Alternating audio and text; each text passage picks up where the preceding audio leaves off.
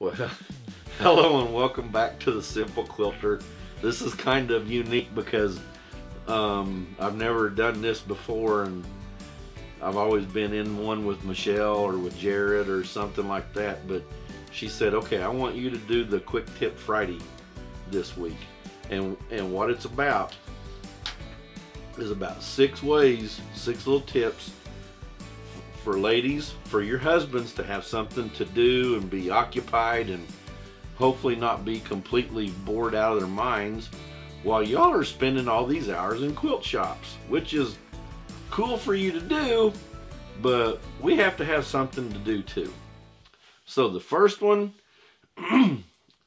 make sure that whenever you go to a quilt shop, make sure that your your husband can park the truck in the shade. Um, that way, if he gets sleepy or something, because I do this all the time, my wife could be in a quilt shop for an hour or more, and that's all right. I don't care. She can be in there all day as far as I'm concerned. But I like to be able to park in the shade so that way if I want to roll down the windows and take a nap, I can just roll down the windows and take a nap. So that's tip number one. Tip number two goes right along with that one. Bring, make sure that your husband has a pillow. Um, if you've ever tried to sleep in a pickup, or I guess maybe a car, I don't know because I don't have a car. But if you've ever tried to sleep in a pickup, you kind of need a way to get your head over here like this so it's not completely like that or your husband's going to get a, a crick in his neck. So you have to be able to support the neck during the nap time in the shade. Okay. Tip number three, make sure you bring him some snacks. Um, and and not like um girly snacks. You know, bring like beef jerky or um, Fritos, um, you know, something like that. Um, cookies are always a good option. Um, I'm trying to think what else Michelle makes that's really, really good. Every, everything she makes is pretty good. But cookies are good. Things like that. So snacks. And and snacks are like I mean that can be different for everybody. Not everybody might like my kind of snacks. I don't know. Okay. So tip number 4. You need to keep your husband hydrated. Bring some drinks. Um, probably not alcoholic beverages because you might be driving, right? we all know that alcohol and driving don't mix. You're not supposed to do that. And if it's kind of warm outside, you run a pretty good risk of getting de dehydrated while you're taking your naps in your truck. I mean, it could happen. So what you do is you you know get some water bottles, put the flavor thingies in it. Um, my personal favorite is Diet Mountain Dew, although it's being quickly surpassed by Diet A&W root beer. Um, those are my favorite drinks. Sometimes just in the bottle. Sometimes I want it with ice. Okay, I, I kind of forgot what number we're on. I think that was five. So this is, okay, this is number five right here. Make sure that your husband has fully charged his phone.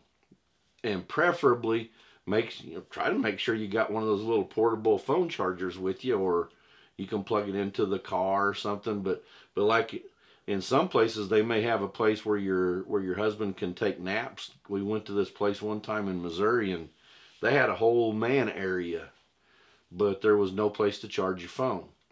So sometimes when Michelle is inside the quilt shops, I like to watch movies. My other favorite thing is to watch her videos from from the the um the simple quilter. But I like to watch movies too. And I think we all know how fast, you know, streaming videos can eat up a phone battery, right? So make sure that you have a way to keep your phone charged. Tip number six, and this is for the larger areas.